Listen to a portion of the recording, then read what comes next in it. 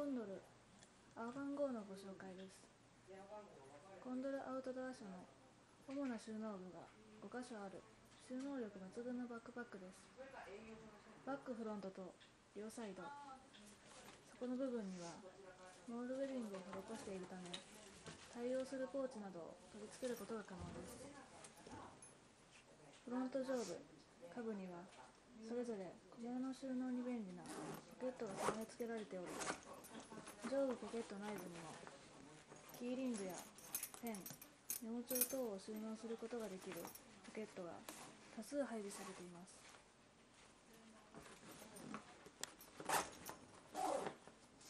両ポケットの内部には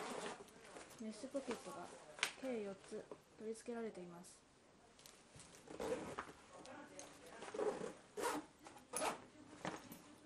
両サイドには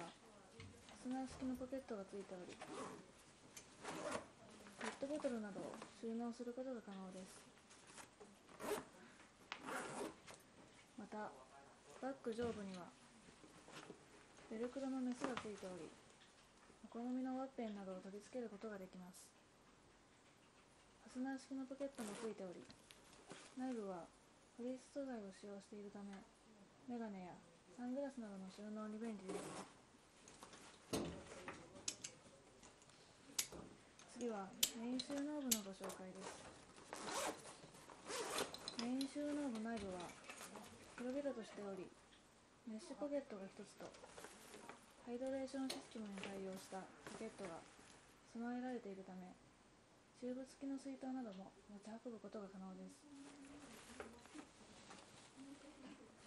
チューブはベルクロ部分の穴から取り出せる仕組みとなっています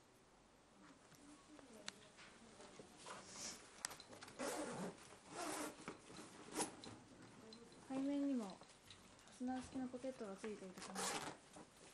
15インチのノートパソコンを収納することが可能です。では実際に収納してみたいと思います。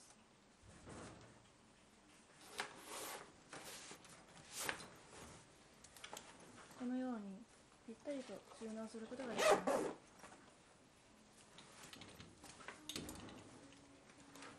バッグ背面とショルダーストラップ裏側にはクッション性のあるメッシュ素材が使用されているため通気性にも優れ負担を軽減してくれます。ショルダーストラップには胸部と腰の部分にバックルで固定できるストラップがついているため止めて背負うことで安定して使用することができます。またショルダーストラップは長さの調節が可能なので体に合わせて使用可能です。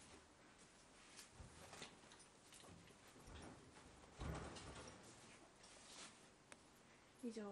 ミリタリーショップウェブマートがお届けしたコンドルアーバン GO のご紹介でした。